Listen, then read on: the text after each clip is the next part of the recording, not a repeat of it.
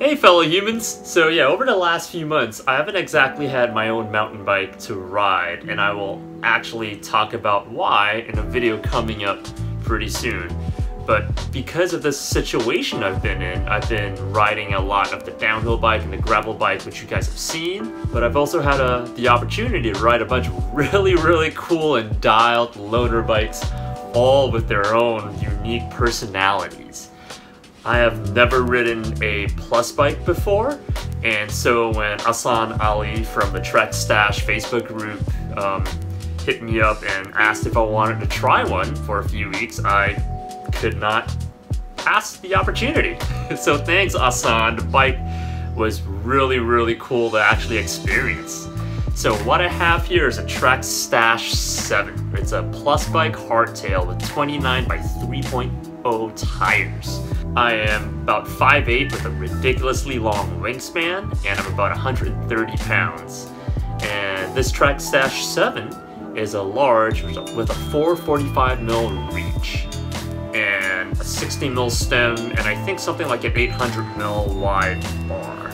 So yeah, it is kind of big, um, but reach-wise, it wasn't too bad. What got to me though was definitely the it is too long for my short legs, but I mean, Trek says I should probably be riding a medium, but the reach wasn't too bad. I mean, I, last Yeti I rode was 476 mil reach, and I could ride that. So, anyways, how I had this bike set up. Well, it's got a RockShox Yari up the front, so it's got this, the really simple motion control damper, which actually isn't too bad. I ran it at 85 PSI in the front, with three clicks of low speed compression, and that was pretty much in the ballpark. As for tires, there was a Bontrager XR4 on the front and an XR2 in the back, and they were both 29 by 3.0, and it was running 16 psi in the front and 18 psi in the back. Now, I know a lot of you plus bike guys are thinking, whoa, that's crazy high. um, yeah, I don't really feel comfortable running low pressures. I think supporting the tire is better and more important than actual traction. And 16, 18 PSI was like the lowest I was willing to go. And even then, it felt a little squirmy. So, what do I think about this bike? Let's go through the pros first. This bike has amazing traction. Like, the grip is ridiculous, especially for anything loose. Um, all that loose kitty litter stuff was amazing. Any off-camber section, amazing. Any low-speed section you need grip, amazing. The sprinting traction, amazing. Anytime you put the power down, you can just like put the power down and not worry about spinning that rear wheel out. The braking traction is ridiculous. Like, if you've got strong brakes, you can just brake and you will stop you don't really need crazy modulation on these things. It is very, very hard to lock the wheels up. It is pretty rad. Especially now with this world we live in where we're affected by the pandemic, there is definitely a lot more people out in the trails and such, at least in, out here in California. I've had to do a few emergency stop, slow down situations and it stops me every single time with plenty of room to spare bump absorption is pretty good if we're talking about low speed bump absorption. Yeah, if it's a low speed, the wheels are so big, and if it's like multiple stutters, the wheels are so big you just roll over them. So low speed bump absorption is pretty darn good. Every once in a while, it kind of makes you forget that it's a hardtail.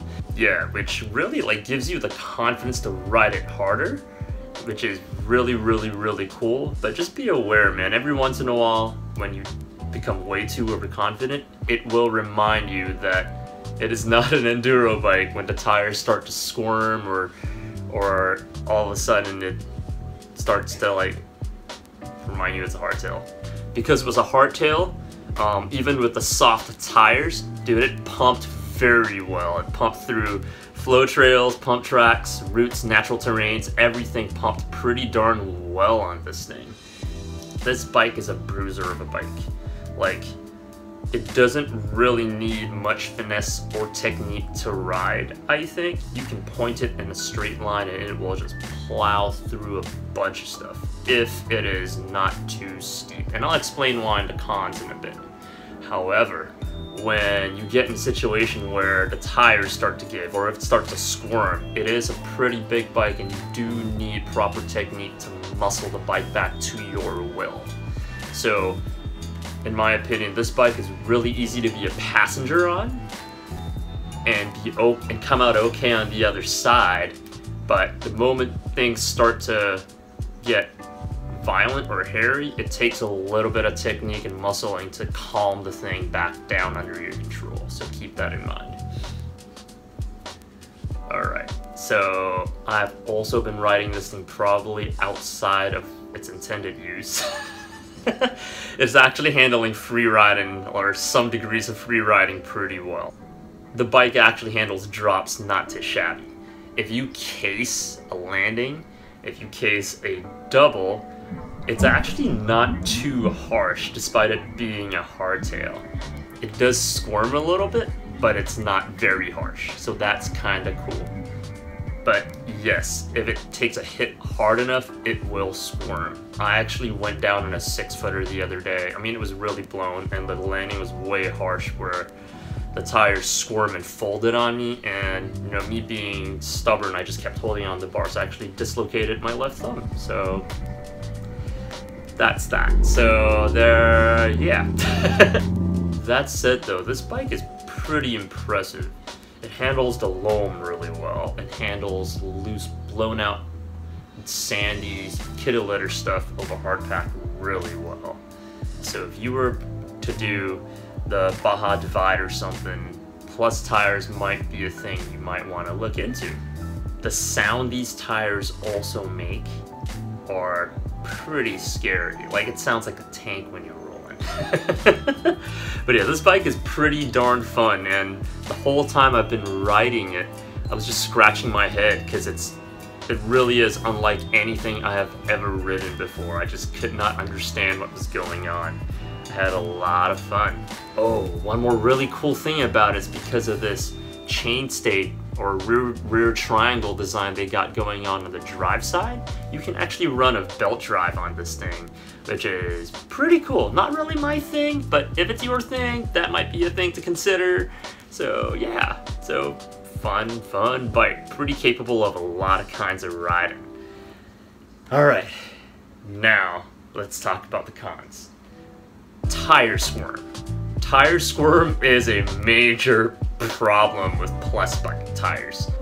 People are telling me for a 130 pound rider I should be running like 12 psi and stuff. I don't know how I could ever do that. Even with 16 and 18 I'm already feeling the squirm.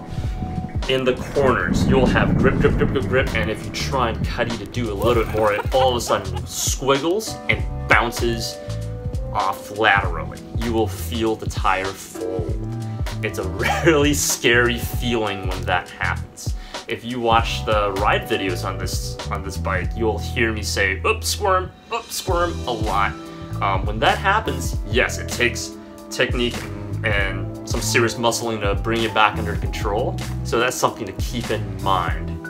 Big loads and side loads, it will happen. On steep drop-ins with uh, roots, rocks, or tech, or anything with successive hits and steep drop-ins, you will not have the grip you have been accustomed to on things that aren't as flat. Now the reason for this is because what actually ends up happening is you start bouncing over all the successive rough stuff and if you're not touching the floor, your tire grip doesn't matter if you're not touching the ground. so that's that to consider. Maybe a full suspension plus bike might be better with that, but that was my experience with the Trek Stache 7 hardtail. I also found it a little hard to steeze off some lips, like especially when you're trying to like throw a whip or muscle a bike around on a lip. Um, it kind of handles a little bit differently than trying to throw a regular bike off a lip. Um, I don't know if it's because when I'm when you try and like bring the rear end or, or style something out on a on the regular tires, the tires get to slip a little bit off the lip, and these don't do that as much or it's because the seat tube was definitely way too long for me um, at 470 mil or something. Yeah, I would have preferred something like 420 mil. But once again, this is a large and it's a size bigger than what Trek thinks you should ride at my height. When I use the dropper for climbing, I'm essentially using like 30 millimeters of dropper height, maybe even less. so there's that to keep in mind. The seat tube length was definitely something that gets in the way if you do try and size up for the reach. Now, one more thing to consider with 29 plus tires is that your BB drop is ridiculously low and a lot lower than your rear axle. Now when you think about it, the lower the BB is, the bottom bracket is in relationship to the rear axle, the harder it is to generate leverage to create lift to rotate around that rear axle. So usually, I mean, I would say if you're not taller than 5'10", you probably don't want a 29er in the back um, because you probably have short legs. That said, I was managed to actually bring the front end up quite a bit. It's not too bad, but when I try and pull off jumps and drops and stuff, a lot of the times I either really pull over pull and really lift up the front end and every once in a while I have to like tap the rear brake to bring the rear end back up to like nose in for a landing or I just don't pull enough. That could have been caused by the really high BB drop. So that's something to also consider. So this bike really isn't for everyone, man. I had a lot of fun riding it um, just learning what plus bike tires were like. But for me, the tire squirm was definitely too big of an issue. I'm a guy who likes higher pressures in my tires, especially if there are no inserts or tubes.